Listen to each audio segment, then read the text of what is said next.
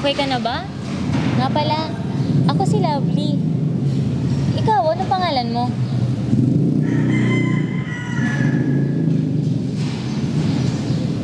Hindi ka ba nagsasalita? Gusto mo turuan kita magsalita? Hmm. Sige, simulan natin ha. Ay, oo nga pala. Ano bang pangalan mo?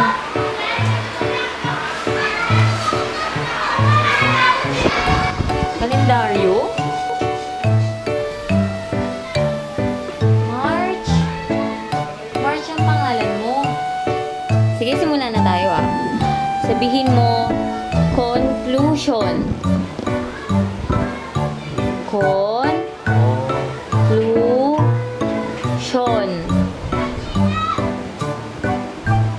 Mahirap pa. Mm, eto, mas madali to. Sabihin mo,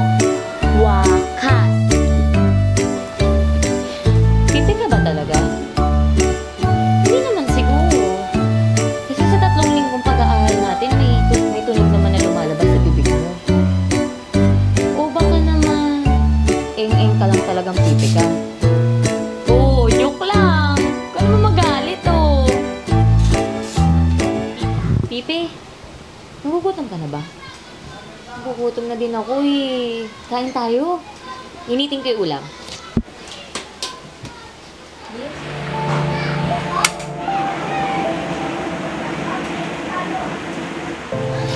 Ha?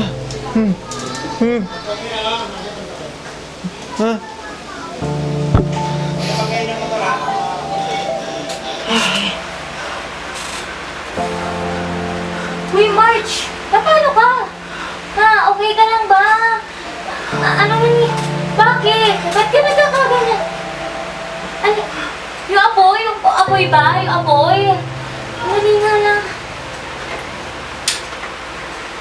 O, ayan. Napatay ko na yung apoy, oh. Takot ka ba sa apoy? Ano? Oh, wala na, oh. Wala na. Tahan na, ha? Tahan na. Love? Uy, love! Ano bang problema?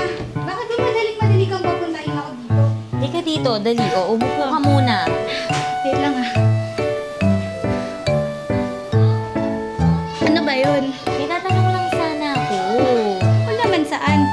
Mm, Kay March. Diyos ko naman, lovely. Ang layo na pinanggalingan ko. Tapos, pupunta ako dito pag-usapan ng pala natin tungkol kay March. Sige na, please, be. Sige na. O sige, basta ililibre mo ako ng merienda ah. Oh, ito. Kumain ka na. Go. Gusto ko kasi sana yung siopaw eh.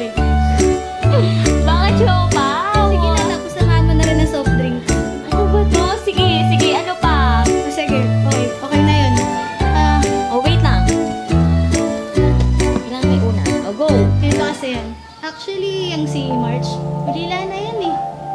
Bakit? Hmm, three years ago, hindi naman yan ganyan. Madaldal nga yun eh. Nagkabaliktad. Tapos, Nangyari yan dahil sa isang trahedya. Nasunog yung tinitira nilang bahay. shit, di nga. Tapos, natrap yung parents niya. Siya lang yung nakaligtas. Baka. Kaya ba hindi siya makapagsalita? Ganun na nga siguro. Ano yun? ah, mat- ka- trauma? Trauma. Kaya siguro takot siya sa apoy. Kaya siya takot sa apoy.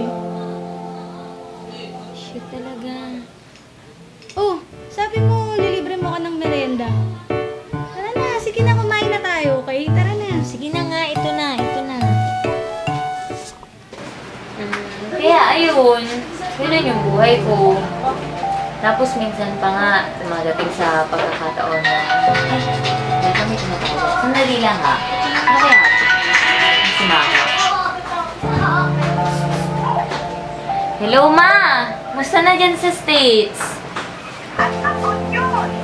Ano po yun? Ako proposition. May green card ka na. Pwede ka na pumunta dito. Ah, talaga po? Pagpunta na ng flight. Kung next week, nandito ka sa piling namin. Miss ko na rin po kayo. Sige anak, malang, malang tawag. Pagpunta ka na. Okay, sabi mo. Ah, sige po, love you din po, ma.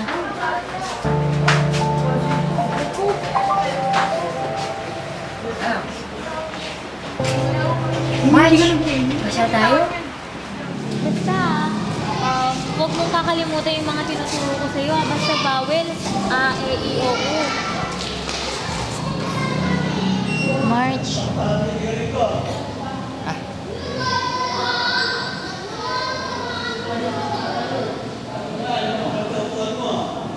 Ano to? Para sa akin to?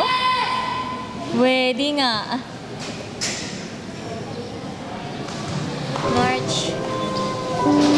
Nga pala, kanina tumawag si Mama.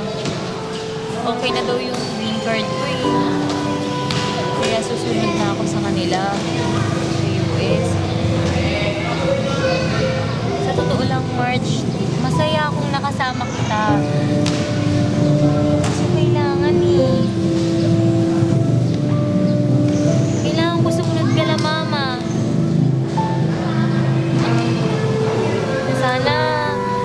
Nandun na ako, magkaibigan pa din tayo.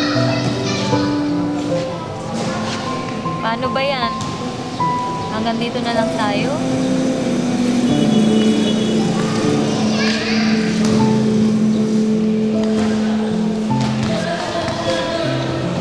Salita ka naman oh.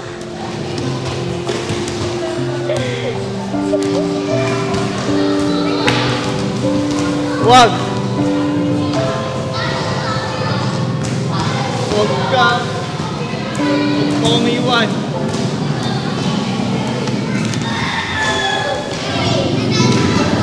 Sasalita ka naman pali. Kailangan pa ba ako umalis? Ikaw talaga, Pipe.